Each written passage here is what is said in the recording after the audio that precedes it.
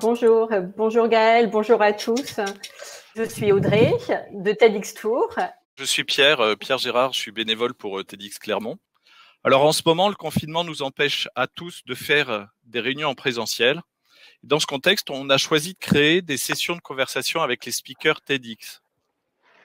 C'est l'occasion de les écouter une vingtaine de minutes, comme pour un talk, puis ensuite d'avoir une partie questions-réponses. Nous avons déjà reçu à cet instant plus de 80 questions. Je passe la parole à Audrey. Donc bonjour Gaël surtout et bienvenue dans cette première édition de, de TEDx Conversation. Vous êtes économiste, spécialiste des interactions entre économie et écologie et également père jésuite. Euh, vous êtes aussi directeur de recherche au CNRS et plus récemment euh, président d'honneur de l'Institut Rousseau. On a pu entendre votre voix ces derniers jours dans la presse française.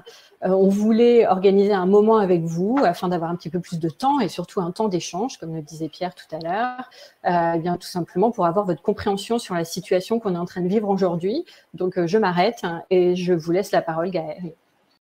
Voilà, bonjour, bonjour à tous.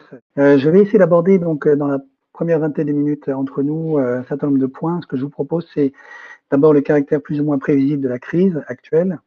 Ensuite, quelques, mon interprétation en tout cas sur les raisons de notre euh, fiasco sanitaire. Troisièmement, les réponses économiques qu'on peut apporter à la crise aujourd'hui. Quatrièmement, la question de l'Union européenne et des relations internationales. Donc, premièrement, la, question de la prévisibilité de la crise. Euh, je crois que c'est assez clair pour tout le monde que cette crise sanitaire, en tout cas le volant sanitaire de la crise, était parfaitement prévisible. Et il a été d'ailleurs tout à fait anticipé par euh, un certain nombre de pays, beaucoup mieux préparés que nous, la France, euh, à savoir Taïwan, la Corée du Sud, le Vietnam, aussi semble-t-il le Japon et l'Indonésie.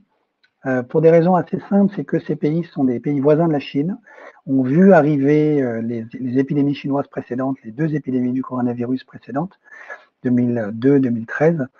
Ils ont vu arriver également le, la grippe aviaire, H5N1, etc. Et donc, ils savaient qu'une autre épidémie du même type arriverait tôt ou tard. Ils s'étaient préparés en conséquence. Par ailleurs, l'OMS avait également fait des, alertes répétées depuis plusieurs années, en demandant à la Chine d'ailleurs de fermer ses marchés d'animaux sauvages à Pékin et à Wuhan, qui sont les lieux en fait où arrivent ces virus qui proviennent d'animaux sauvages dont nous ne connaissons pas en fait la virologie et par rapport à laquelle nous n'avons pas d'anticorps. Et la Chine n'a pas fermé ses, marchés d'animaux sauvages pour une raison euh, sans doute liée au fait qu'ils sont très prisés par la haute bourgeoisie chinoise qui aime beaucoup manger du pangolin le soir apparemment. Et puis dernièrement, euh, en fait, depuis que les premières alertes ont été lancées par la Chine à la fin du mois de décembre, la revue scientifique Science avait documenté de manière extrêmement précise ce que l'on savait quasiment semaine par semaine sur la nature de la pandémie et son extension de sorte que ça me paraît extrêmement difficile pour les autorités publiques de prétendre qu'elles n'étaient pas, informées et que la crise n'était pas prévisible. Alors, le lien entre cette crise et, et, le réchauffement climatique, il y a beaucoup de questions qui tournent autour de, cet aspect. Je crois qu'il est, multiple. Le, premier lien, c'est que euh, une bonne partie de la maltraitance que nous infligeons aux écosystèmes naturels favorise notre rapprochement et notre mise en contact avec des virus que nous ne connaissons pas. Donc le, premier effet, c'est la déforestation. La déforestation nous met au contact d'animaux qui vivent dans les forêts profondes, qui ont, comme le pangolin ou les chauves-souris ou les serpents, des virus que nous ne connaissons pas et par rapport auxquels nos corps ne sont pas préparés. Et donc la déforestation, si nous la poursuivons comme nous le faisons actuellement, va provoquer de plus en plus de pandémies du même type que celle du coronavirus. Par ailleurs, le réchauffement climatique va également, ça c'est bien connu depuis des années, euh, provoquer l'accélération et l'extension d'un certain nombre de, de pandémie tropicale, je pense évidemment à la, malaria, qui devrait toucher plusieurs milliards de personnes d'ici 2050. Donc il y a un lien étroit entre, d'un côté, ce que nous infligeons à la planète, et en particulier la biodiversité, et des pandémies de ce type-là. Je crois qu'il on peut dire, il y a une raison encore plus profonde, qui est que la racine de la crise écologique et la racine de cette pandémie sont la même, à savoir que l'humanité est devenue l'espèce animale mammifère prédatrice situé au sommet de la pyramide des prédateurs. Donc, c'est la même raison qui fait que nous sommes capables de détruire toutes les chaînes de reproduction de tous les animaux sur la planète, depuis les poissons jusqu'aux oiseaux, ce que nous faisons actuellement, parce que nous sommes le super prédateur de la planète, et qui fait que nous sommes également le véhicule privilégié d'extension des pandémies, parce que pour un virus, c'est beaucoup plus efficace en termes euh, d'évolution biologique de se, de se balader à partir de l'être humain, des 7,3 milliards que nous sommes, que de se balader par exemple sur le renne arctique qui est en train de disparaître à cause du réchauffement. Donc il y a, une, raison unique, profonde, à ces deux grandes crises, et je crois que ce à quoi ça nous appelle en premier lieu, c'est la, première grande remarque qu'on peut faire à mon avis, c'est que ce à quoi nous sommes appelés, c'est apprendre à être le super prédateur que nous sommes sans détruire pour autant euh, les, conditions euh, naturelles d'existence de ce super, et en particulier en apprenant à ne pas nous mettre en contact des virus qui peuvent nous mettre en danger. Du côté des réactions euh, des États, je crois qu'il y a plusieurs familles de réactions possibles qu'on a, observées. La première, c'est la bonne, c'est celle qu'a mise en place euh, Taïwan, la Corée du Sud, le Vietnam, dans une moindre mesure le Japon et l'Indonésie, qui consiste à pratiquer un dépistage extrêmement rapide des premières personnes infectées, à les mettre en quatorzaine immédiatement, ainsi que toutes les personnes qu'elles ont fréquentées, et à généraliser le port du masque dès que la première alerte apparaît. Ça a permis, au moins à Taïwan, à la Corée du Sud, et au Vietnam de ne pas pratiquer le lockdown, de ne pas pratiquer le confinement, ce qui est évidemment euh, beaucoup moins coûteux que ce que nous faisons nous en termes économiques. La réponse des pays occidentaux a été essentiellement celle que nous pratiquions déjà au Moyen Âge, qui consiste à se confiner. Alors elle-même, elle a différentes variantes. Hein. Vous avez la variante allemande qui, semble-t-il, est la plus réussie, qui consiste à avoir dépisté beaucoup dès le début. Alors semble-t-il, moins efficacement tout de même qu'en euh, Corée du Sud, à Taïwan ou, au Vietnam, mais malgré tout beaucoup plus efficacement que nous en France. Hein. Actuellement, depuis plusieurs semaines, l'Allemagne pratique au moins 500 000 tests par semaine. Et si j'ai bien compris, en France, nous nous acheminons doucement vers 200 000 par semaine, ce qui est évidemment très insuffisant.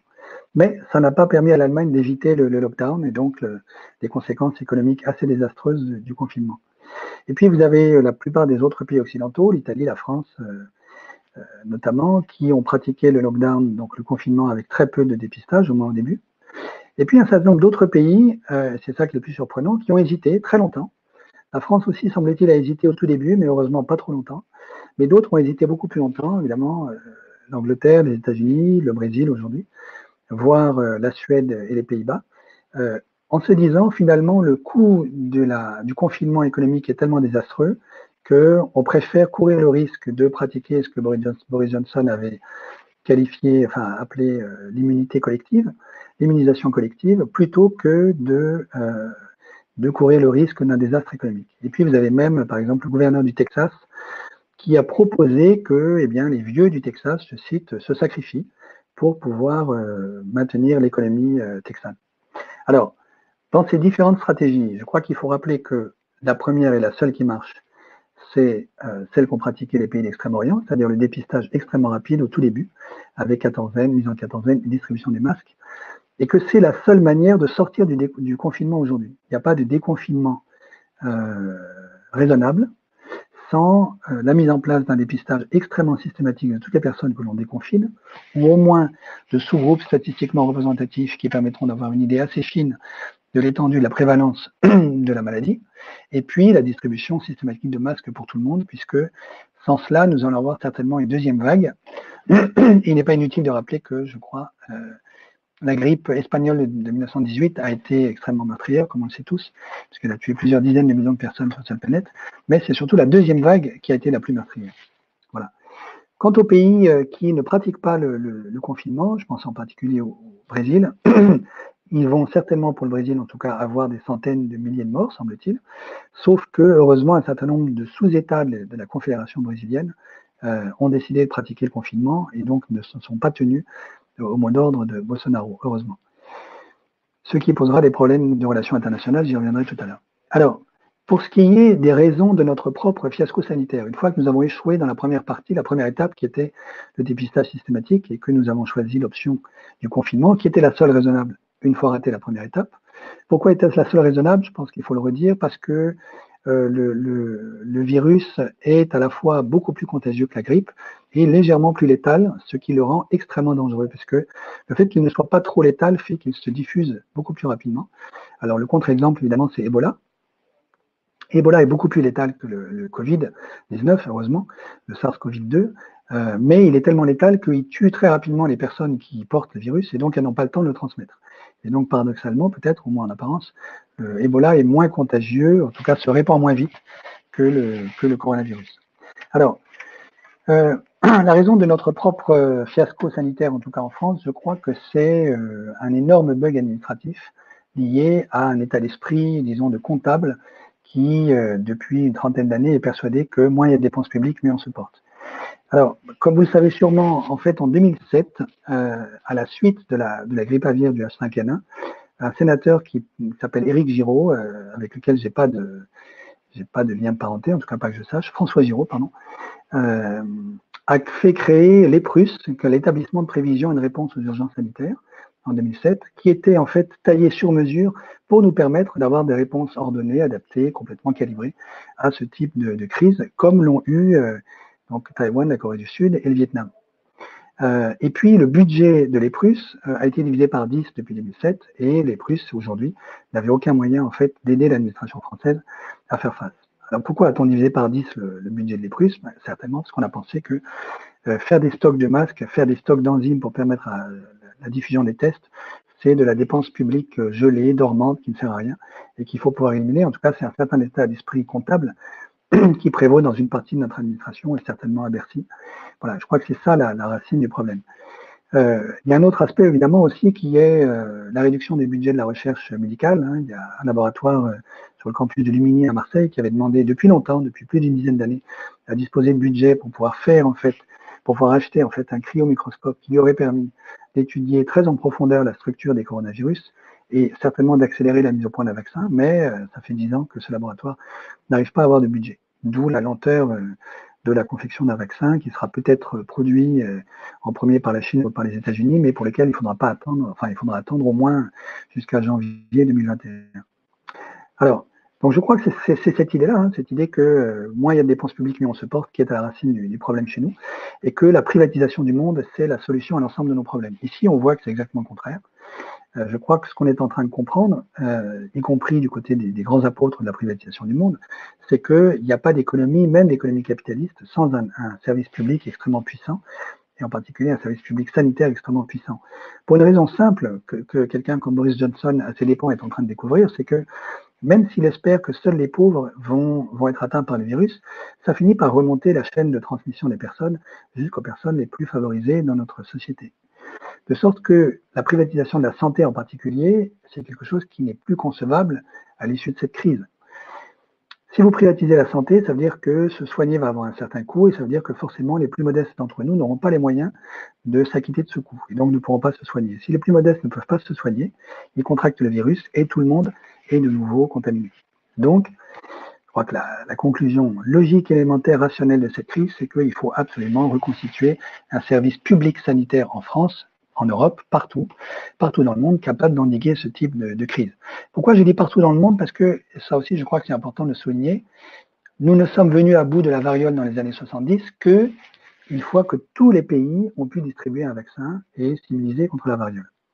S'il était resté un seul pays qui euh, n'ait pas pratiqué le, le, vaccin contre la variole, celle-ci aurait continué de pulluler et nous aurions encore des millions de morts aujourd'hui contre la variole. Autrement dit, ce qui est absolument vital, c'est que tout le monde puisse avoir accès aux soins qui permettent de se prémunir contre ce type de pandémie. Tout le monde, y compris les réfugiés, y compris les sans-abri, y compris les personnes qui, malheureusement, sont les plus marginalisées dans la société. Et donc, ça veut dire à la fois, dans un pays comme la France, il faut un service sanitaire public très efficace, mais également dans l'ensemble des pays. Ce qui implique qu'il faille désormais, très certainement, réapprendre une forme de coopération internationale beaucoup plus efficace que celle que nous avions mise en œuvre, qui n'a à peu près rien à voir avec la concurrence de tous contre tous, qui était d'une certaine manière le schéma sous-jacent à la globalisation marchande, mais qui a tout à voir avec l'apprentissage, disons, de la solidarité et de la coopération. Et puis, je crois, la deuxième grande leçon de notre fiasco sanitaire, qui devient un fiasco économique, et ça va me permettre d'arriver sur mon troisième point, c'est que nous faisons l'expérience que nos chaînes d'approvisionnement internationales sont extrêmement fragiles. Hein, il, faut, garder en tête que pour construire un iPhone, il faut, enfin, les, les pièces qui permettent de construire un iPhone traversent 43 pays avant d'arriver chez nous. Euh, ceci nous rend extrêmement vulnérables. C'est pas impossible qu'un certain nombre de chaînes d'approvisionnement alimentaires ou pharmaceutiques soient interrompues dans les semaines qui viennent. Pour ce qui est de l'alimentaire, probablement ce ne sera pas le cas en France, heureusement, mais ça n'est pas du tout euh, exclu que d'autres pays plus vulnérables que nous et moins dotés que nous du côté de l'agriculture souffrent dans les semaines qui viennent. Je pense à l'Angleterre et aux États-Unis. Et puis, c'est possible aussi qu'il y ait des ruptures d'approvisionnement en médicaments. Donc ceci fait que nous sommes en train d'apprendre que il faut relocaliser, c'est-à-dire euh, mettre fin à cette idée que c'est intelligent de faire faire trois fois le tour du monde à n'importe quel produit avant qu'il n'arrive chez nous. Simplement, se relocaliser, c'est plus facile à dire qu'à faire, parce que avant de faire le grand changement le jour d'après, le, le, modèle que nous souhaitons tous euh, advenir, hein, qui est celui de la transition écologique, en profitant de cette grande crise pour la mettre enfin en œuvre, il y a quand même un certain nombre d'urgences économiques auxquelles il faut réfléchir tout de suite. La première étant que, pour ce qui est de l'économie française, elle est très largement à l'arrêt. Euh, donc 50% de l'industrie française, 50% des services, 85% des bâtiments, du bâtiment sont à l'arrêt aujourd'hui. Et donc la, la, question que ça pose, c'est comment remettre en marche l'économie réelle. Ce qui veut dire que la crise actuelle est très distincte de à la fois la crise de 2008 et la grande crise de 1929 avec laquelle tout le monde commence à la comparer aujourd'hui. Parce que ces deux autres crises étaient, disons, au moins en première analyse, d'origine financière. En tout cas, l'œil du cyclone était du côté de la sphère financière et s'est répandu ensuite du côté de l'économie réelle, même si on peut évidemment, et on a raison, s'interroger sur les racines profondes d'une crise financière elle-même.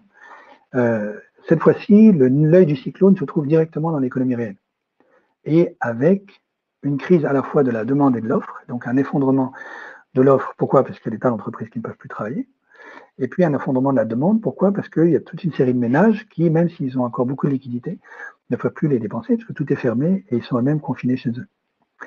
Donc c'est ça qui est absolument nouveau dans la, crise actuelle. Les conséquences en termes de PIB, donc vous savez qu'il y a beaucoup de, débats et de calculs sur ces questions. Euh, ça dépend des pays, ça dépend des économistes, mais disons, on, peut certainement intuiter, même en faisant des petites règles de trois élémentaires, que nous allons certainement marcher vers quelque chose comme moins 10% du PIB français, si on a un peu de chance, moins 7, moins 8, euh, et des choses tout à fait analogues au niveau européen et même au niveau mondial. Euh, la Chine, en fait, ne s'en tire pas, du tout mieux que nous, j'y reviendrai tout à l'heure. La conséquence la plus dramatique de ceci, c'est assez évident pour tout le monde, je pense, c'est le chômage. Donc vous avez vu les chiffres des États-Unis. Hein, les États-Unis ont enregistré 10 millions de chômeurs de plus en un peu plus de 15 jours. 900 000 en Espagne. Euh, chez nous, en France, le, chômage partiel permet de limiter l'hémorragie temporairement, mais ça n'est que temporaire et on attend encore les chiffres pour mesurer l'étendue du désastre du point de vue du chômage. Ce qui est certain, c'est que la grande question qui va préoccuper tout le monde à la sortie du confinement, ça va être de remettre tout le monde au travail et de trouver du boulot pour tout le monde. Alors, ce type d'arrêt, de mise à l'arrêt de l'appareil productif va avoir une conséquence absolument désastreuse qui est que même si, euh, il faut l'espérer, il faut le souhaiter, hein, l'État euh, aide un certain nombre d'entreprises, de PME en particulier, à ne pas mettre la clé sous la porte. Beaucoup d'entre elles ont très peu de trésorerie et vont se retrouver techniquement en faillite et ensuite incapables de redémarrer une fois le, confinement terminé. Ce qui veut dire non seulement que les entreprises ont fermé, mais que les gens vont se retrouver au, au chômage, mais surtout qu'on ne pourra pas reconstituer ces entreprises. Pour une bonne partie d'entre elles, on ne pourra pas les ressusciter. Et donc, ça veut dire qu'il y a énormément de savoir-faire qui va être perdu dans les mois et les années qui viennent. Et ça, c'est certainement la partie la plus euh, dramatique de la, la crise économique euh, qui nous occupe aujourd'hui, dans un contexte où, vu euh, ce qui se passe en ce moment, très certainement, nous allons amplifier la pente déflationniste sur laquelle nous étions en train de glisser depuis des années, à cause de la crise de 2008. La pente déflationniste, ça veut dire que nous n'aurons pas d'inflation, nous n'en avions, déjà pas beaucoup, nous n'aurons pas d'inflation, euh, simplement des dettes qui vont continuer d'exploser, à la fois des dettes publiques et des dettes privées, et euh, une part du chômage qui va continuer d'augmenter tranquillement, sans qu'il y ait une véritable reprise de l'activité, en tout cas, ça va être extrêmement lent et extrêmement douloureux pour tout le monde. Par rapport à ceci, les différentes réponses qui ont été mises en œuvre par les, États concernés euh, sont en partie à la mesure de ce qu'il faut faire. Je pense en, partie, en particulier aux États-Unis, je vais y revenir dans un instant. Pour ce qui est de la France, euh, je crois que c'est très insuffisant pour l'instant. Hein. Donc vous avez vu, le plan français, c'est euh, en gros 300 milliards de garanties publiques pour les prêts bancaires aux entreprises et aux ménages qui seraient en difficulté. Donc on peut, se peut que se réjouir dans un premier temps, en tout cas au moins que la garantie publique soit enfin utilisée de manière massive, alors qu'il y a encore quelques années, elle était réputée absolument équivalente à la dette publique, ce qui est évidemment pas vrai. Euh, donc la garantie publique ne grève pas le, bilan de la dette publique française. Donc l'État français met à disposition 300 milliards de, de garanties publiques, simplement c'est de la garantie sur des prêts bancaires. Donc ça suppose, pour que ça puisse être activé, que quelqu'un s'endette aujourd'hui. Or, la grande difficulté, c'est que l'essentiel des PME, voire des TPE et des ménages qui sont en difficulté, ils ont un besoin désespéré de liquidité, mais sans contrepartie aujourd'hui. Ils n'ont pas du tout les moyens d'emprunter et de s'endetter davantage auprès du secteur bancaire. Donc, je, crois que, je pense que beaucoup d'économistes sont d'accord avec ça, c'est très insuffisant. L'Allemagne fait la même chose, elle met 400 milliards, un peu plus, euh, à disposition de ses entreprises et de ses ménages via des garanties publiques, mais la grande différence, c'est que l'Allemagne ajoute 250 milliards d'offres budgétaires pour accompagner les 400 milliards de garanties publiques, alors qu'en termes d'efforts budgétaires, la France fait 45 milliards. Et donc, c'est là qu'il y a un énorme gouffre qui nous sépare de la réaction allemande. C'est-à-dire que les Allemands ont mis le paquet. Euh, vous avez vu qu'ils ont distribué des chèques à Berlin, 5 000 euros, notamment pour les, des intermittents du spectacle, entre autres. Euh, rien de tel en France, et je crois que c'est ça pour l'instant qui fait cruellement défaut à la réponse des autorités publiques françaises, c'est-à-dire une prise au sérieux de la gravité de la situation telle qu'on ne peut pas se contenter simplement de faire la garantie publique. Il faut à un moment ou à un autre qu'il y ait la liquidité qui arrive, et à part l'État, personne ne peut la fournir. Alors, tout de suite un mot sur la BCE, évidemment, parce que je pense que tout le monde euh, y pense en ce moment. La BCE, comme vous le savez, euh, a pris la décision de re réactiver sa politique non conventionnelle de rachat de titres euh, qui lui permet de mettre 750 milliards à disposition du secteur interbancaire euh, européen. C'est bien, c'est le bon niveau. Simplement, de nouveau, c'est encore du quantitative easing, euh, mais c'est du quantitative easing ancienne manière, c'est-à-dire celui qu'on a utilisé après la crise de 2008. Or, on sait que le quantitative easing ne marche pas bien, parce que l'essentiel de ces tombeaux de liquidités reste captifs dans les bilans des banques, ou bien sont réutilisés par les banques pour continuer de spéculer sur les marchés financiers, ou bien, ce qui est plus vraisemblable aujourd'hui compte tenu euh, de l'énorme crise boursière, hein, vous avez vu que les marchés financiers ont perdu 30% de la capitalisation boursière mondiale en un peu plus de 15 jours, ou bien pour, euh, par exemple, financer le, le pétrole et le shale euh, aux États-Unis et au Canada. Alors, si euh, les tombeaux de liquidité que la BCE aujourd'hui promet au marché interbancaire servent à ceci, euh, évidemment, ce ne sera pas très utile pour l'économie réelle. C'est du côté de l'économie réelle qu'il faut intervenir aujourd'hui et pas du côté du secteur interbancaire. Donc, si vous dire que ce que fait la BCE, c'est bien, mais c'est très très insuffisant si on s'arrête là. Euh, ce que fait la France, c'est bien, mais c'est également pas du tout au niveau des montants nécessaires qu'il faut pour soutenir l'économie réelle.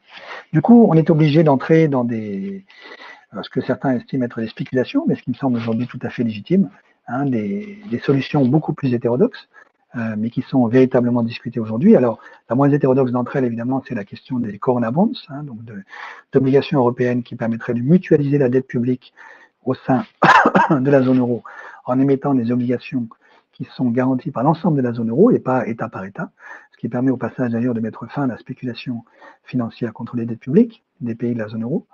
Euh, vous savez qu'il y a une résistance très forte de la part des, Pays-Bas aujourd'hui sur l'émission de ces Corona Bonds, j'y reviendrai à propos de l'Europe. Euh, mais ça me paraît évident qu'aujourd'hui, il faut absolument qu'on puisse emprunter quelque chose comme 1000 milliards, au moins que euh, ensuite l'Union européenne puisse mettre à disposition des États pour que ceux-ci puissent utiliser cet argent directement pour aider l'économie réelle. Une autre proposition dont vous avez tous entendu parler, c'est ce qu'on appelle la, la, monnaie hélicoptère, le helicopter money. Donc ça, ça consiste en fait à créer de la monnaie, hein, et pas simplement à l'emprunter sur les marchés financiers, mais à créer de la monnaie. Par exemple, la BCE, qui peut créer de la monnaie simplement en écrivant une ligne de code sur son écran d'ordinateur, euh, et à mettre à disposition cette monnaie auprès des gens euh, ou des entreprises, et pas auprès des banques. Euh, donc ça, c'est un autre nom pour ça, c'est le quantitative easing for people. Euh, vous avez peut-être vu que la Banque d'Angleterre vient de décider de le faire. Euh, c'est assez extraordinaire, mais je crois que c'est très bien. Euh, on peut mettre ça à l'actif de son gouverneur, qui est un gouverneur exceptionnel, Mark Carney. il faut espérer que la Banque Centrale Européenne finisse par se laisser convaincre que c'est une bonne idée. évidemment, alors, pardon, ce que, la Banque d'Angleterre vient de décider de faire, c'est pas exactement des hélicoptères monnaie, excusez-moi, c'est de racheter directement les titres de la dette publique de l'État anglais. Donc, c'est court-circuiter les marchés secondaires. C'est pas exactement l'hélicoptère monnaie, pardon. Euh, mais j'espère en tout cas que la Banque d'Angleterre va y arriver et que la BCE elle-même va finir par se laisser convaincre, même si euh, la marche est assez élevée. Donc, ce que vient de, décider la Banque d'Angleterre, en particulier son gouverneur Mark Carney, c'est de prêter directement à l'État. donc, ça veut dire de mettre fin à la pseudo euh, indépendance de la Banque centrale. Vous savez que c'est un des grands tabous, un des grands dogmes qui euh, structure la construction de la, zone euro aujourd'hui, qui est la Banque centrale doit être absolument indépendante du pouvoir politique, ce qui veut dire, en d'autres termes, doit être antidémocratique. Euh, ce tabou-là n'a absolument aucun fondement scientifique, il n'y a aucune théorie économique valide aujourd'hui, à mon sens, qui permet de, de justifier l'indépendance de la Banque centrale, ce qui voudrait dire que la politique monétaire pourrait être rendue complètement indépendante de la politique budgétaire des États, ce qui n'a aucun sens d'un point de vue économique. Donc, euh, je crois que la décision qui vient d'être prise par la Banque d'Angleterre est la bonne. Et là aussi, j'espère qu'on va avoir une réflexion à ce sujet au sein de la zone euro, même si cette fois-ci, ce sont les Allemands qui vont évidemment hurler si on commence à, en parler. Euh, et puis, il y a encore un certain nombre d'autres solutions euh, hétérodoxes qui sont en discussion aujourd'hui, à mon avis, qui sont les bonnes. Euh, la plus intéressante, me semble-t-il, étant celle d'un État euh, employeur en dernier ressort, c'est-à-dire d'un État qui se préoccuperait lui-même directement de créer des emplois. Alors, c'est un sujet qui est discuté depuis plusieurs années, hein, qui, n'est pas découvert aujourd'hui. Ça ne veut pas dire du tout une étatisation complète de l'économie française, par exemple, hein, où tout le monde deviendrait fonctionnaire. Ça veut dire que l'État comprend que le secteur privé lui-même n'est pas capable de créer suffisamment d'emplois pour redonner du boulot à tout le monde et participe lui-même à la création d'emplois. En fait, au Danemark, en Angleterre et en Irlande, euh, vous avez vu que ces trois États-là euh, se sont engagés à financer 80, euh, entre 70 et 80% des salaires des personnes pour qu'elles puissent continuer de travailler. C'est une manière de socialiser le salariat. Et euh, au Danemark, par exemple, l'État commence à réfléchir à l'idée de prendre en charge également les charges des entreprises. Donc le Danemark euh, va très très loin dans la question de la prise en charge de la, de dépense des entreprises et donc d'une certaine manière l'étatisation de l'économie et du secteur privé. Ça ne veut pas dire que ce sont les fonctionnaires qui vont se substituer aux chefs d'entreprise, c'est-à-dire que l'État prend à sa charge une partie, la plus grande partie, du coût du fonctionnement d'entreprise. Je crois que c'est dans cette direction-là qu'il faut réfléchir, et en particulier pour la France, même s'il n'est pas du tout certain que ce soit cette direction que veuillent explorer euh, les autorités publiques françaises. Et peut-être j'aurai l'occasion d'y revenir tout à l'heure, parce que je suis un petit peu trop long, sur ce qu'on peut faire aujourd'hui en France pour reconstruire l'économie française. Je voudrais juste terminer par deux mots. Le premier, c'est, il me paraît assez évident que l'Union européenne aujourd'hui euh, court un risque majeur de dislocation à la fin de cette crise, euh, si elle ne se montre pas plus, plus solidaire. En particulier si les Pays-Bas continuent de vouloir conditionner toute aide via le, SME euh, à l'Italie à, euh, par exemple, des réformes structurelles. Euh, vous avez vu que la colère est en train de monter très très fort en Italie, en Espagne, au Portugal, et à mon avis à juste titre, sur la, très très faible solidarité au sein de, l'Europe. évidemment, à l'issue d'une crise comme celle-ci, un certain nombre de gens vont se poser la question si l'Union européenne, la zone euro ne nous permet pas d'être solidaires face à des crises comme celle-là, à quoi sert-elle? Et donc je pense qu'il y a un enjeu absolument colossal à comprendre, y compris du côté de nos amis allemands et, néerlandais, que la solidarité européenne, c'est une condition sine qua non aujourd'hui pour sauver le projet politique européen. Et puis, un dernier mot avant de vous laisser la parole sur la, dimension internationale. C'est assez évident qu'aujourd'hui, la Chine essaye de redorer son blason et euh, de prendre un certain leadership au niveau international, analogue à celui qu'avaient pris les États-Unis en 1945 à l'issue de la Seconde Guerre mondiale. Euh, je crois qu'il faut être conscient du fait que euh, c'est la Chine qui était à l'origine du problème, que euh, les autorités chinoises ont masqué la gravité de la pandémie pendant presque un mois, ce qui a fait prendre beaucoup de, retard à l'ensemble de la communauté internationale sur la prise de conscience de la gravité du problème que euh, le bilan des morts en Chine est nettement supérieur à ce que disent les chiffres officiels. Donc, ce que donne un certain nombre de sites internet de, Chinois dissidents, c'est euh, pour la seule province de Hubei, où se trouve Wuhan, 750 000 morts pour la seule province de Hubei, et pour l'ensemble de la Chine, peut-être 2 millions de morts. Donc, on est très très loin du succès que Xi Jinping essaie de s'attribuer à lui-même dans sa propre propagande d'État. Euh, voilà. Donc, je crois qu'il faut faire très attention aux tentatives de récupération par la Chine de sa propre, de la crise qu'elle a provoquée sur l'ensemble de la planète. En outre, l'aide qu'elle a apportée à l'Italie n'était pas du tout une aide gratuite. En fait, les Italiens ont dû acheter le matériel médical chinois qui leur a été apporté par la Chine. Donc, la solidarité chinoise avec l'Europe est extrêmement relative. Euh, voilà. Alors, par ailleurs, c'est vrai aussi que euh, les États-Unis font la démonstration aujourd'hui du fait qu'ils ont complètement perdu le leadership euh, sur l'ensemble de la planète. Hein. La réaction américaine aujourd'hui n'a strictement rien à voir avec celle qui avait pu être la sienne euh, en 2008, par exemple. Hein. Ce qui va poser un énorme problème sur la structure, disons, euh, multilatérale de la planète et sur les possibilités de mise en œuvre de la, coopération telle que je l'avais appelé de mes voeux tout à l'heure à propos de l'éradication de la maladie. Donc je crois que le, grand défi, on pourrait dire politique, philosophique, intellectuel auquel nous sommes confrontés aujourd'hui, c'est de devoir apprendre à relocaliser une partie de notre production, à produire français, à réindustrialiser l'économie française. Parce que nous ne pouvons pas continuer à être aussi dépendants de, des chaînes d'approvisionnement internationales que nous sommes aujourd'hui.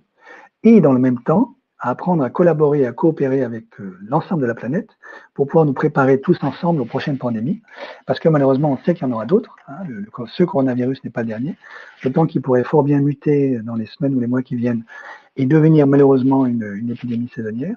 Et même s'il ne devenait pas, de toute manière, comme je l'ai dit tout à l'heure, il y aura beaucoup d'autres pandémies du même type. Le réchauffement climatique est en train de nous les préparer. Donc, il est indispensable aussi que nous fassions l'apprentissage de cette coopération. Voilà, je vous laisse la parole. Merci, merci Gaël pour, pour ces éléments. Je vais essayer de voir si j'ai bien compris ce que vous nous avez apporté. Donc la, risque, la, crise actuelle est une crise qui aurait pu être prévisible, euh, puisque elle a déjà été, euh, enfin il y a déjà eu des crises un peu similaires sur des, des, des virus qui étaient assez proches. Euh, elle ne l'a pas été dans un État comme le nôtre euh, du fait d'une déprise de l'investissement sur la santé. Euh, puisque depuis un certain nombre d'années, il y a un état d'esprit qui est moins on dépense, moins mieux on se porte. Dans ce contexte-là, l'arrivée du corona a fait que euh, il a fallu confiner les gens parce que la priorité qui a été choisie, c'était une priorité de protéger les personnes par rapport à l'économie, donc on a ralenti, et faire en sorte que euh, ce massif puisse permettre de, faire en sorte de ne pas saturer le système de, de santé et donc, tel qu'il est aujourd'hui, et donc de maximiser euh, les chances de sauver des personnes.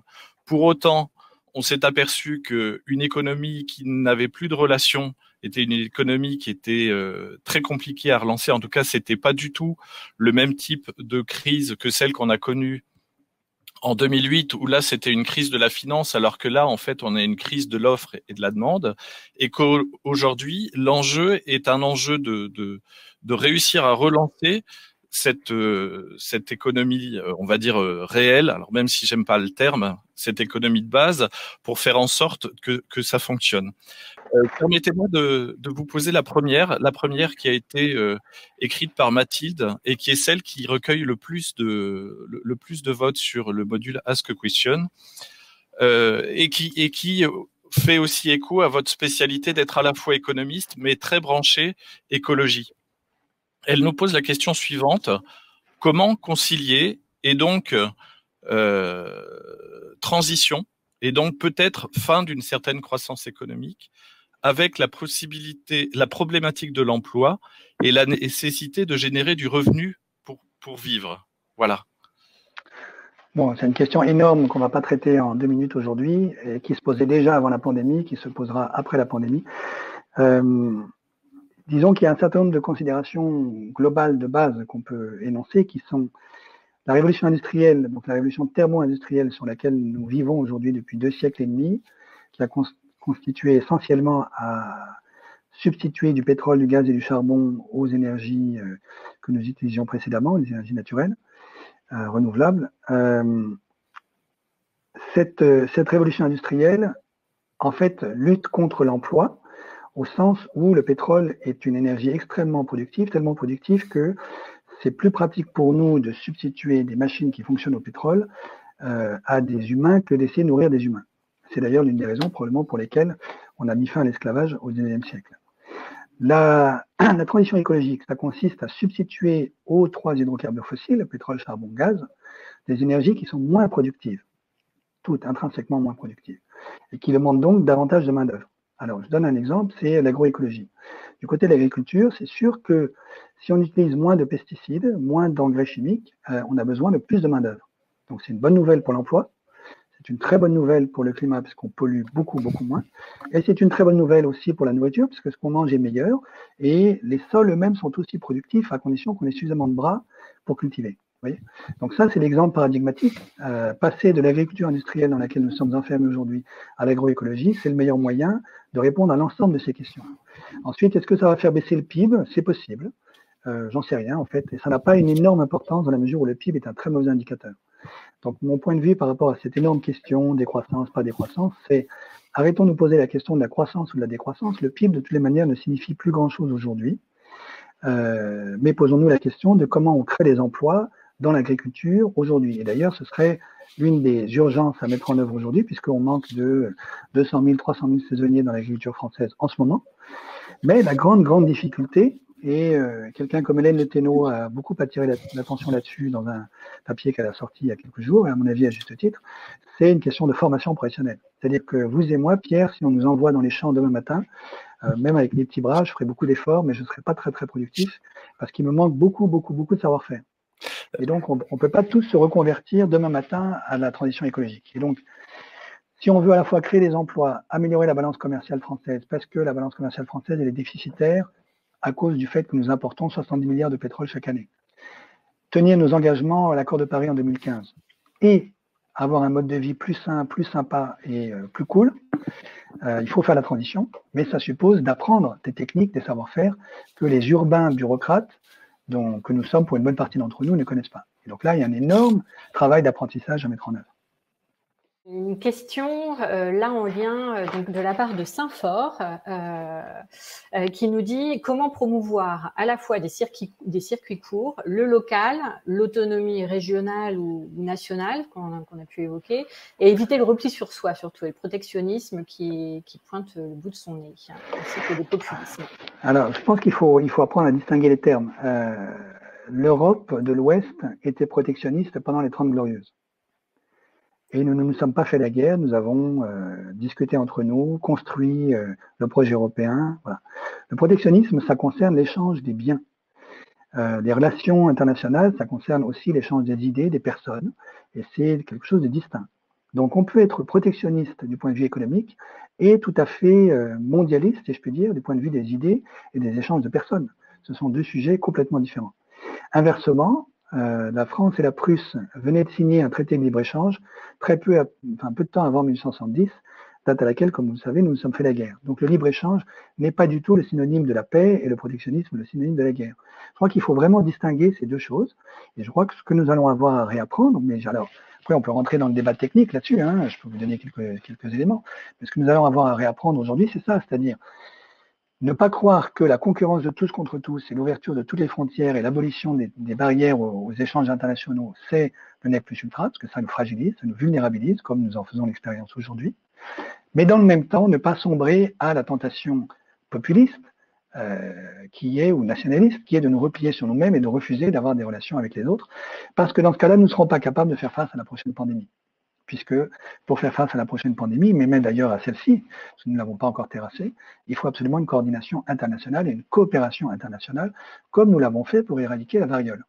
Donc là, voilà, il y a, une espèce de, défi à, relever, mais je suis sûr que l'humanité est suffisamment intelligente pour apprendre à le faire. Alors, à mon avis, la, réponse clé dans cette affaire-là, c'est le concept des communs mondiaux, des biens communs mondiaux. Euh, la santé en est un, puisque nous savons maintenant que la santé d'un paysan guinéen, ça nous concerne, c'est Ebola. La santé d'une famille chinoise à Wuhan, ça nous concerne, c'est le coronavirus. Euh, et en même temps, heureusement, il n'y a pas d'État mondial pour traiter la santé comme un bien public qu'une administration mondiale, fût celle de Xi Jinping, surtout pas, euh, ni celle des États-Unis, pourrait administrer pour tout le monde. Donc il faut une coopération internationale où chacun prenne conscience du fait que nous avons tous mutuellement intérêt à être coopératifs.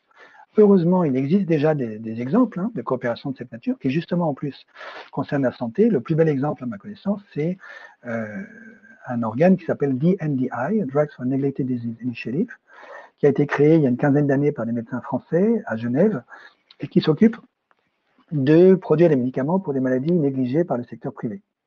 Par exemple, l'hépatite C en Égypte, qui est vendue par DNDI euh, très peu cher. Euh, de mémoire, je crois que c'est 300 ou 400 dollars la thérapie, contre plusieurs milliers d'euros en France. Et DNDI, c'est un conglomérat où vous avez à la fois l'industrie pharmaceutique privée, des États, des ONG, qui apprennent à travailler ensemble et à produire ce que ni le privé tout seul, ni les États tout seuls, ni les ONG toutes seules n'arrivent à produire. Donc c'est ça qu'il faut qu'on arrive à faire au niveau international, parce que l'OMS, bon, donc l'OMS c'est une création, euh, disons typiquement onusienne, basée sur euh, la grande idée de la Société des Nations des années 20, mais vous avez remarqué premièrement que presque personne n'a écouté l'OMS depuis quelques mois, même si l'OMS depuis longtemps avertissait que ce type de pandémie allait arriver, et que nos autorités ont un mal incroyable aujourd'hui à écouter davantage l'OMS que le FMI. Donc, l'OMS, c'est le multilatéralisme qui prévalait jusqu'à il y a quelques années. Je crois que selon nous faisons l'expérience aujourd'hui, c'est que ça ne suffit pas. Je ne dis pas qu'il faut abolir l'OMS, pas du tout, mais c'est que ça ne suffit pas et qu'il faut créer d'autres institutions internationales qui mettent en collaboration autour de la table le secteur privé, on en a besoin, les États, sans eux on ne peut rien faire, et la société civile. Voilà, ça c'est un exemple d'institutions euh, voilà, internationales qui permettraient de traiter la, santé comme un commun. Et je crois que c'est ça qu'il faut qu'on apprenne. Et ça, ça n'est ni les grands vents de la concurrence, euh, de la globalisation marchande des 40 dernières années, ni le repli sur soi nationaliste ou populiste. Gaël, vous, vous parliez beaucoup de la santé. Euh, on a vu en début de, crise des questions où les gens sont allés euh, chercher des substances, euh, enfin ou des, éléments de subsistance, farine, sucre, papier toilette aussi, mais bon, œufs. santé, c'est un point clé, mais l'alimentation. Aujourd'hui, on est quand même sur un, une planète où on est très nombreux. Euh, on parle beaucoup de coordination au niveau de la santé, mais qu'est-ce qu'il en est au niveau de l'alimentation? Même la France, par exemple, est très dépendante de de ces importations du Brésil, par exemple, pour tout ce qui est euh, aviculture, donc euh, élevage de, de, de poulets ou élevage de, de porcs. Comment on peut imaginer cette question de l'alimentation? Parce que vous l'avez esquissé avec la main-d'œuvre agricole, alors, deux choses là-dessus, je dirais très rapidement. Hein. La première, c'est la France euh, ne court probablement pas le risque de rupture de, chaîne d'approvisionnement alimentaire, parce qu'heureusement, nous avons encore une agriculture extrêmement puissante et j'ai des amis agriculteurs aujourd'hui qui travaillent extrêmement durement pour que nous n'ayons pas de problème d'acheminement alimentaire en ce moment. Euh, heureusement, merci pour eux.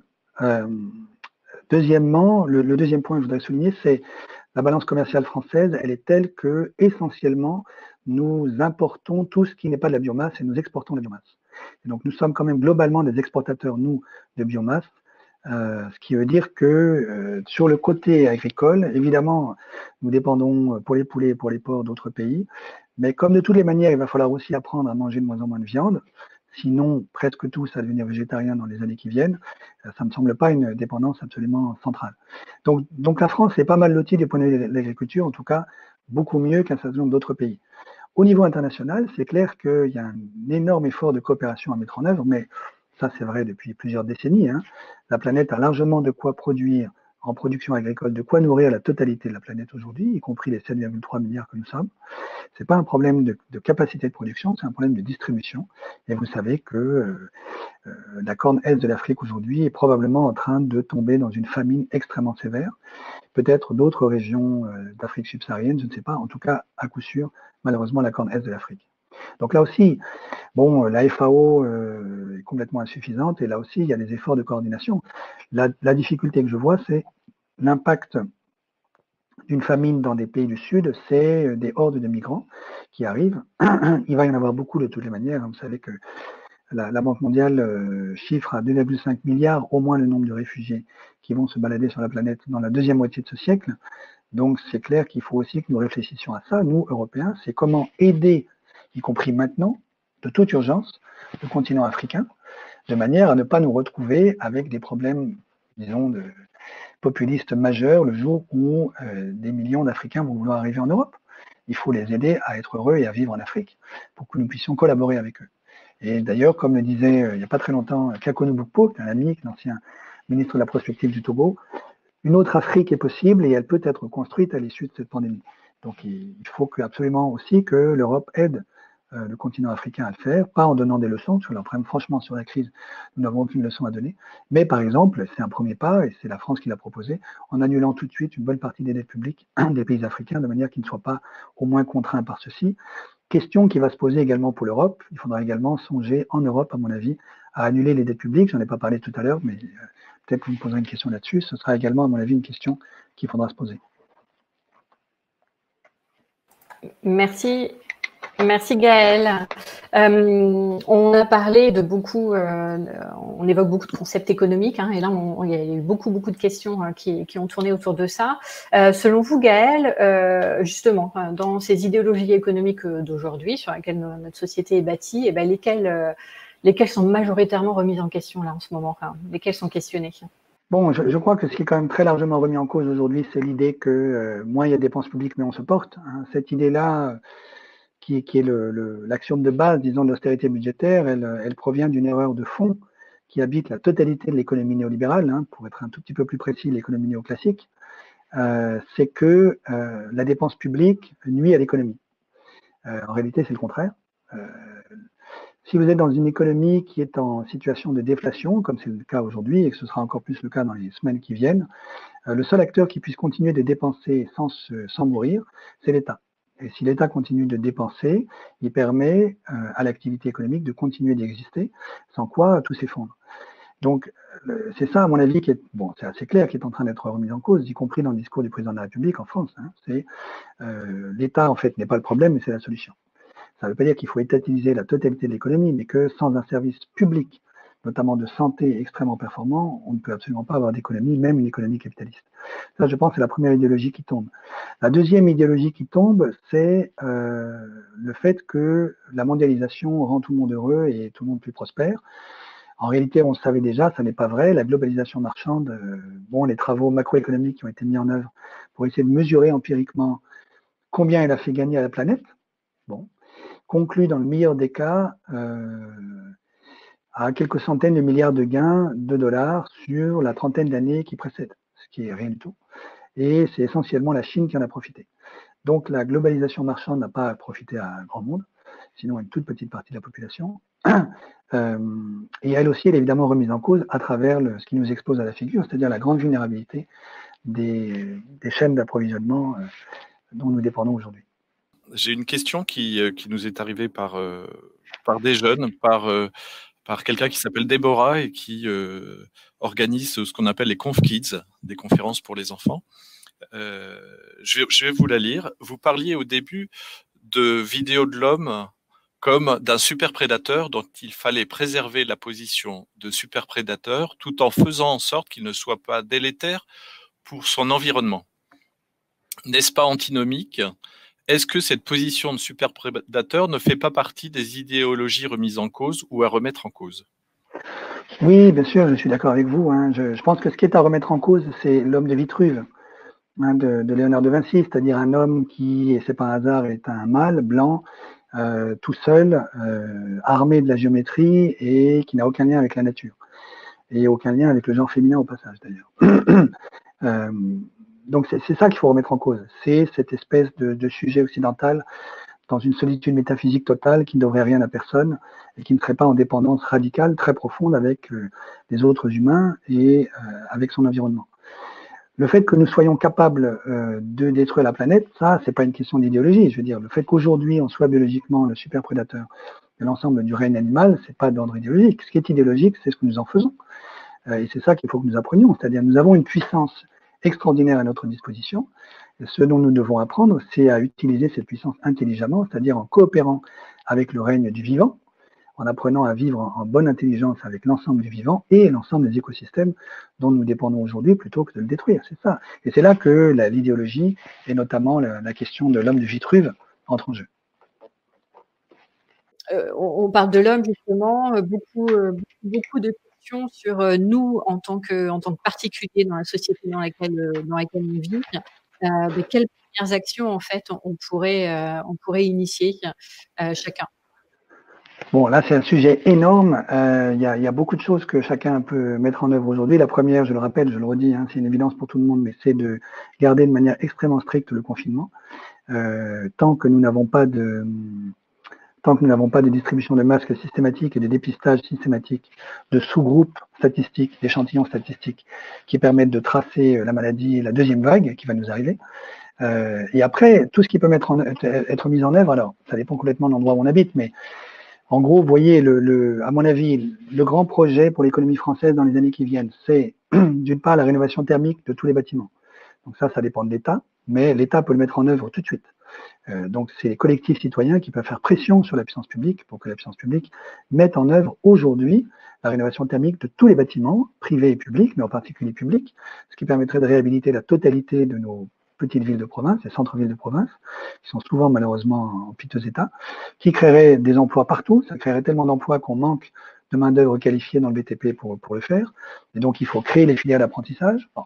Donc là, il y a un énorme chantier sur lequel on peut faire pression sur les autorités publiques. Euh, à titre individuel, tel ou tel, si ça l'intéresse, évidemment, si c'est sa vocation, peut aussi se former du côté des bâtiments écologiquement euh, euh, vertueux. Là aussi, il y a toute une filière d'apprentissage qu'il faut réussir à mettre en œuvre, qui existe déjà en partie et qui constitue un vivier un vivier d'emploi, à mon avis, extrêmement intéressant pour les années qui viennent. Ça, c'est pour se loger. Il y a évidemment un aspect urbanistique majeur qui est comment constituer, reconstituer des petites villes plutôt circulaires, pour ceux qui connaissent ça, c'est l'inégalité isopérimétrique, plutôt circulaire, très dense, avec du transport public à l'intérieur de chaque petite ville et des circuits agricoles courts, plutôt d'agroécologie, avec de la nourriture qui est acheminée par train en centre-ville, près de la gare. Donc vous voyez que si c'est ça euh, le schéma urbain pour nous dans les années qui viennent, chacun de nous peut prendre ses dispositions, c'est-à-dire il faut renoncer à l'imaginaire de la banlieue pavillonnaire avec ses trois piscines, il faut renoncer à aller se nourrir au supermarché qui est à 4 km en voiture, et il faut reconstituer des liens à l'intérieur de nos villes de manière à avancer le plus vite possible dans le sens de ce schéma urbain ici. Euh, dont je viens de parler. Et donc ça, ça dépend évidemment euh, des communes, ça dépend euh, des communautés de communes, mais ça dépend aussi des citoyens qui sont capables à la fois de dialoguer et de constituer eux-mêmes le réseau urbain, puisque celui-ci ne se décrète pas d'en haut. Et puis, il y a la mobilité. Donc, il y a se loger, il y a ensuite la mobilité. La mobilité, vous le savez bien, c'est avancer le plus vite possible vers une mobilité verte. Et donc, ça, ça veut dire euh, prendre le moins possible l'avion, voire plus du tout, en tout cas, plus du tout pour les transports, euh, les déplacements à, l'intérieur du même continent, donc intracontinentaux. Euh, mais également, par exemple, troquer le plus vite possible sa voiture à moteur thermique contre une voiture électrique c'est très clair. Et faire pression à la fois sur nos autorités publiques et sur le secteur privé pour avancer le plus vite possible vers des transports euh, publics à l'hydrogène. Nous avons un champion euh, sur l'hydrogène qui s'appelle Air Liquide, qui est tout à, fait, capable de faire ça. Et là aussi, c'est un bassin, un vivier d'emploi absolument extraordinaire qu'il faut pouvoir mobiliser. Et puis, euh, alors, Il y a encore un autre aspect, à mon avis, qu'on peut souligner, sur lequel chacun d'entre nous peut contribuer, c'est la constitution des éco-villages et tout ce qui tourne autour de ce qu'on pourrait appeler l'économie circulaire, les communs locaux et les monnaies locales. Donc ça, chacun de nous peut y participer, c'est-à-dire euh, transformer le village auquel j'appartiens en un éco-village, dans lequel la totalité des déchets sont recyclés, l'eau est recyclée, toute électricité provient euh, d'énergie renouvelable, euh, on, on, pratique de la permaculture de la manière la plus répandue possible, etc. etc. Donc ça, c'est il y a un apprentissage à mettre en œuvre, hein, il y a beaucoup de coordination collective, mais il y a aussi beaucoup d'intelligence, d'imagination et de créativité qui peut être mise en œuvre. Pour ça, les monnaies locales sont une vraie opportunité. Euh, chacun d'entre nous peut, avec d'autres, construire une monnaie locale. Euh, il en existe des milliers en France déjà. Euh, et je ne peux que nous encourager à utiliser cet outil, surtout dans, dans un contexte où, dans les années qui viennent, c'est possible que la monnaie en circulation vienne à manquer à un certain nombre de collectifs parmi nous. Voilà. Ça, ce sont quelques pistes. Il reste que des petits gestes du quotidien pour réduire l'empreinte écologique euh, qui peut être la mienne à titre individuel tout seul. Euh, la société Carbone 4 a fait des calculs là-dessus et conclut que ça permet au maximum de réduire de 20%, peut-être 30% si je suis un asset, franciscain extrêmement austère, de 30% euh, mon empreinte en termes de CO2, mes émissions de CO2. Donc c'est très insuffisant puisque si on veut avoir quelque chance de rester pas trop loin des plus de degrés à la fin du siècle, euh, il faut réussir à obtenir euh, la neutralité carbone avant 2070, euh, hein, plutôt 2060 au niveau mondial. Et donc, ça, ça veut dire que les petits gestes du quotidien sont absolument nécessaires, mais très insuffisants. il faut aussi absolument que l'État s'engage. Sans l'État, on ne peut pas le faire. Et donc ça, ça dépend de nous aussi comme citoyens. Il faut qu'on vote, il faut qu'on alimente le débat public et qu'on fasse pression sur nos politiques pour qu'ils mettent en œuvre cette transition écologique. Vous avez parlé de, des monnaies locales, de l'action locale. Il y a, euh, il y a dans, dans l'ensemble des questions qu'on a pu euh, relever des éléments autour de la gouvernance. Alors la gouvernance d'abord d'un côté du système financier, Est-ce que et, pour l'illustrer, j'ai une question qui est pensez-vous qu'un modèle décentralisé de la finance et de l'économie avec des monnaies qu'on appelle virtuelles, Bitcoin, crypto-monnaie ou technologie blockchain par extension, qui sont pas forcément les choses les plus accessibles à, tout le monde, se positionnent en tant qu'alternative viable au modèle actuel. En creux de cette question, c'est finalement quelle gouvernance demain pour la finance mondiale? Est-ce que euh, on, la laisse fonctionner telle qu'elle est, ou est-ce qu'on on invente d'autres modèles de, de gouvernance? Bon, c'est une énorme question qu'on ne va pas pouvoir euh, résoudre euh, en deux minutes non plus. Euh, la finance mondiale, je n'ai aucune idée de la manière dont elle va évoluer dans les mois qui viennent.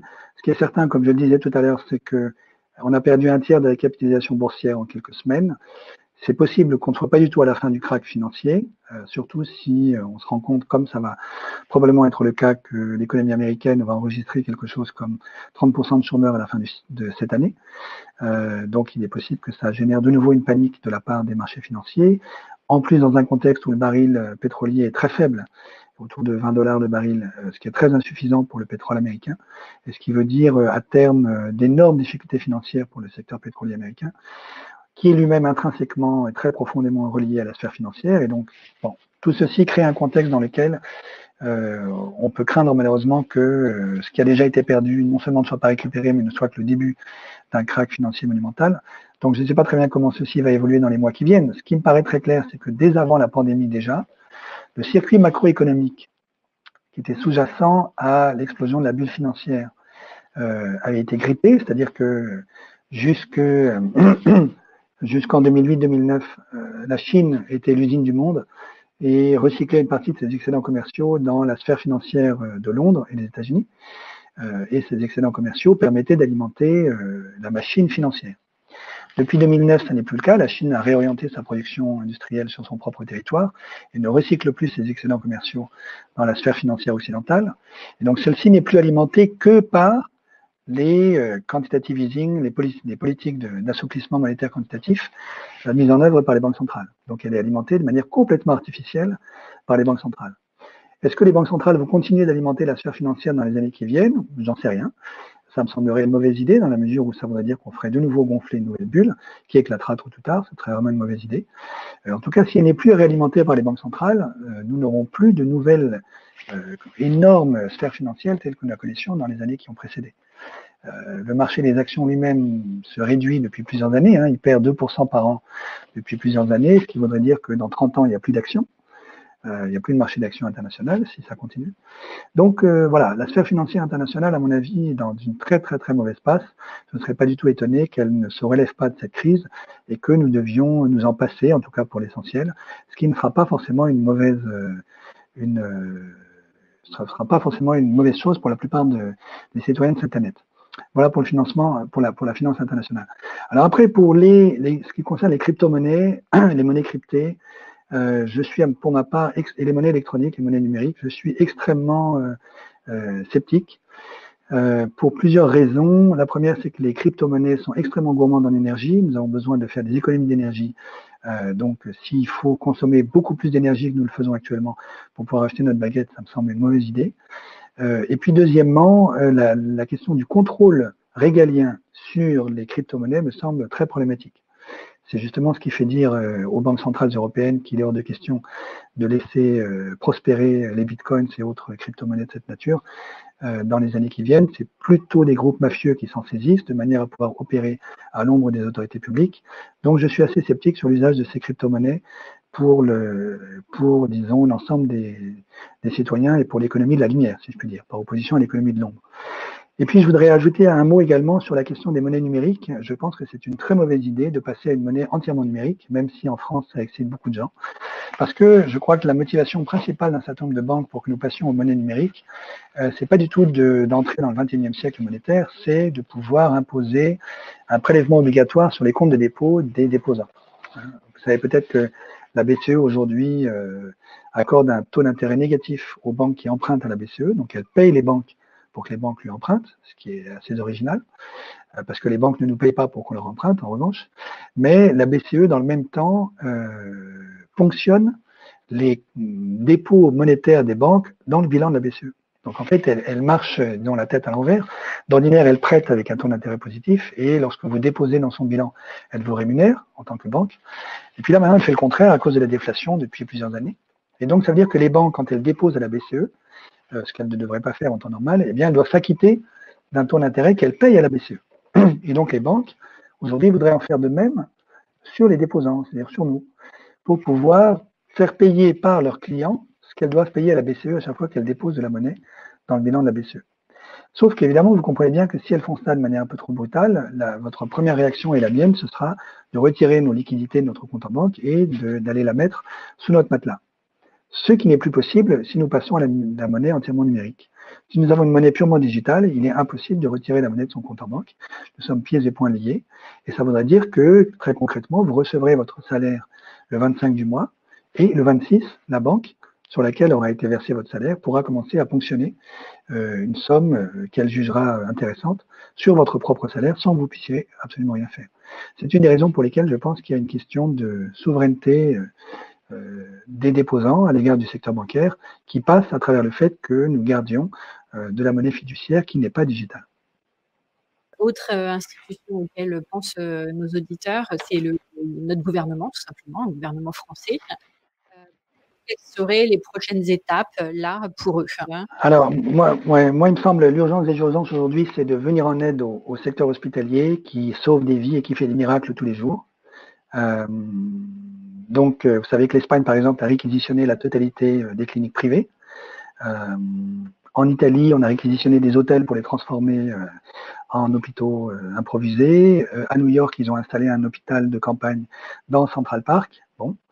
Euh, voilà des, puissances publiques qui prennent au sérieux le, sauvetage des vies et qui, si j'allais dire, si je peux dire, mouillent la chemise pour essayer d'aider le système hospitalier aujourd'hui, très concrètement. Euh, la deuxième euh, étape, à mon avis, c'est de produire des enzymes de manière à pouvoir faire du dépistage systématique en masse, beaucoup plus que ce que nous faisons actuellement, et de produire des masques, sans quoi nous ne pourrons pas avoir euh, de sortie du confinement raisonnable. Si nous sortons du confinement sans masque ou bien sans un dépistage systématique des personnes qui sortent du confinement, nous allons avoir une deuxième vague qui sera terrifiante parce qu'une bonne partie d'entre nous ne sera pas immunisée. Notre secteur hospitalier sera déjà à genoux et euh, l'hécatombe va recommencer. La troisième chose, mais évidemment ces trois priorités-là vont ensemble. La troisième chose, c'est de relancer l'économie française et évidemment de ne pas reconduire le monde d'hier, mais de profiter de cette relance de cette remise au travail pour transformer l'économie française dans le sens de la transition écologique et un petit peu dans le sens de ce que j'indiquais tout à l'heure, c'est-à-dire euh, la rénovation thermique des bâtiments, l'urbanisation euh, économe, la mobilité verte et une réindustrialisation verte pour l'ensemble de l'économie française. Merci Gaël pour, euh, pour ces éléments-là. si je retiens quelques points clés, restons chez nous. Oui. Faisons pression auprès de nos, nos, gouvernants pour faire en sorte qu'il y ait, il y ait un État régalien ou un, un, système qui soit plus puissant et qui fasse en sorte que l'on puisse avoir un déconfinement progressif, mais le plus rapide possible. Euh, mais en même temps, réfléchissons à l'après, trouvons euh, d'autres modèles économiques qui à la fois respectent le revenu que les gens doivent trouver, mais en même temps l'écologie.